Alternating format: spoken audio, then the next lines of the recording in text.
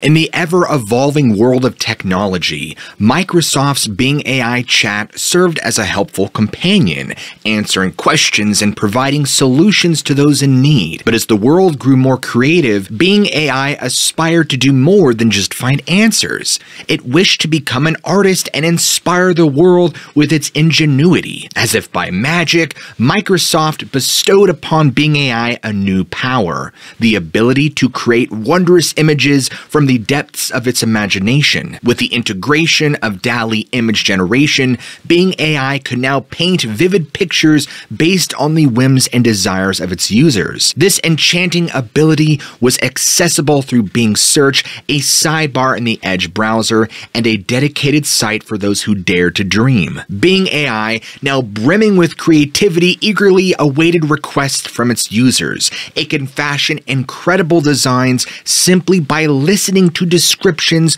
or following a previous query. And that, folks, leads us to the last day or so where Microsoft just shook the entire industry by making this announcement that they would be integrating the ever popular DALL-E 2 image generation into their Bing chat. Now, if you don't know what DALL-E 2 is, it is a text to image generator by OpenAI that can create realistic images and art simply from a text prompt. Now, here's the thing with this newer technology being rolled out out is that not everybody has immediate access to it yet, as shown in the screenshot released by Microsoft. And as a matter of fact, I'm here in Bing chat and I just asked, can you generate a picture of a cat holding an orange? And it told me, I'm sorry, but I'm unable to generate pictures. So that would lead me to believe that my previous suspicion is correct, that it's in the process of being rolled out. So we could probably expect to all be able to play with that here within the next few days to possibly a week. Now, if this disappoints you, Fortunately, Bing has made it possible that we could still use this. Check this out. If we go up here to bing.com slash create,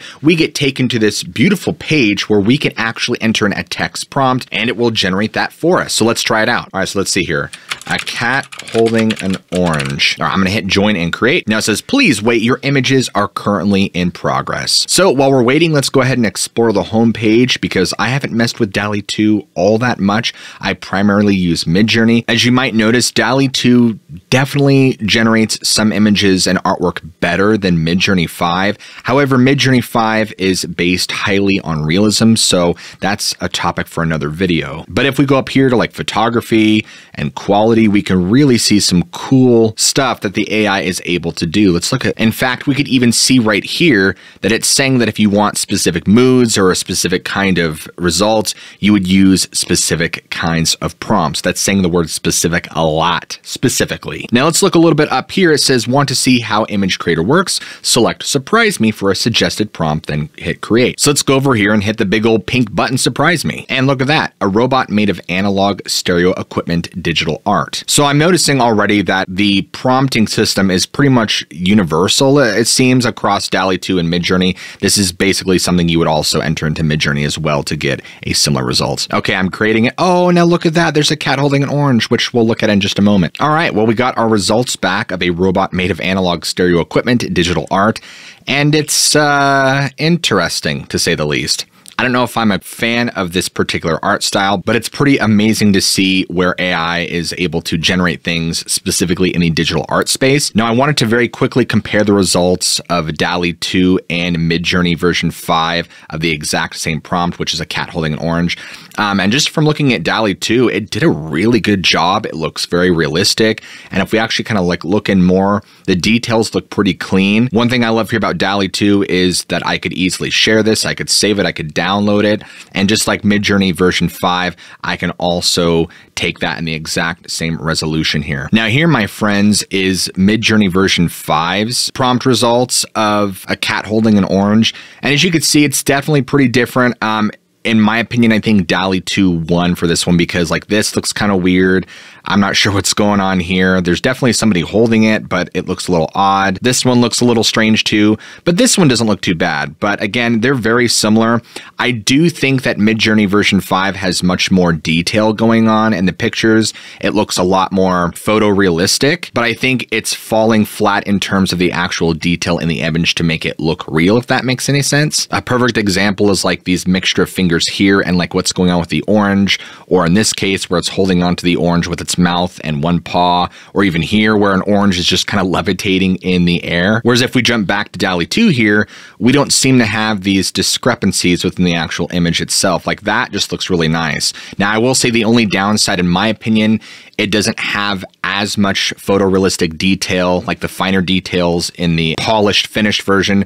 But you know what? If you're just looking at these like this and you're just using them for basic online purposes, it's probably not going to matter too much. I think, in my opinion, this does better. But I'd have to play around with it a little more. Now, one thing I wanted to point out real quickly to you guys is that while DALL-E 2 is awesome, uh, when it comes to text generation, it's not quite there. And we're all wishing that this will be the case soon.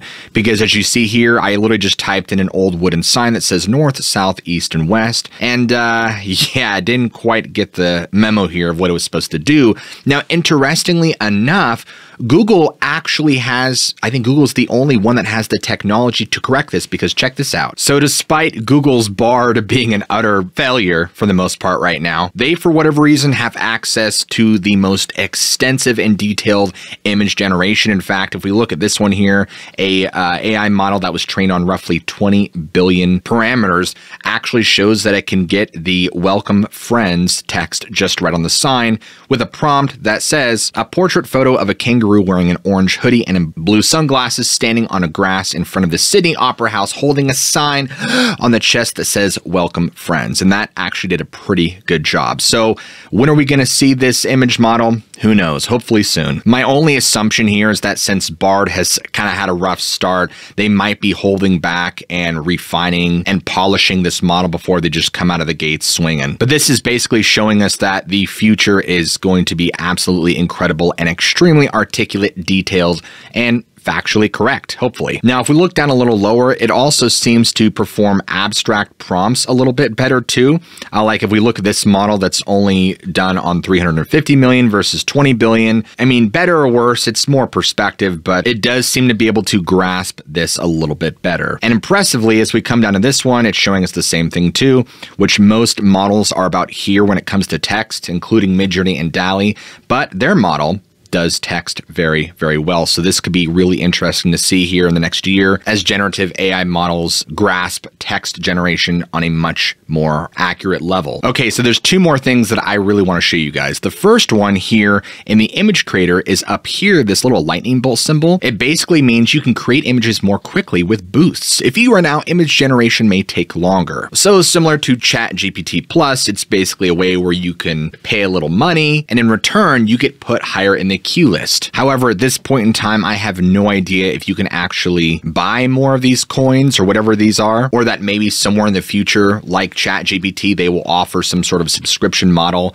to where you can get more of these, or you can just be, or they'll establish some sort of service that will put you higher up in the list in terms of priority. Now, the very last thing I wanted to talk to you guys about is the fact that Microsoft is reversing a lot of the limits that it previously had on Bing's AI AI chat tools. Now, you might remember previously where if you tried to play around with Bing Chat, you might have been limited to what you could or could not ask. One of the other complaints that a lot of people had about Bing Chat was its limitation in generation. A lot of the answers could be vague, they could be short, and it left a lot of users unsatisfied. Now, good old Microsoft claimed that it was to prevent Bing's AI chat from producing disturbing answers. The company now says it will restore longer chats and is starting by expanding the chats to six turns per session, up from 5, and 60 chats per day, up from 50. So my only assumption is that they must have worked out the kinks somewhere along the way and maybe gone through and censored certain prompts or something. I'm not exactly sure,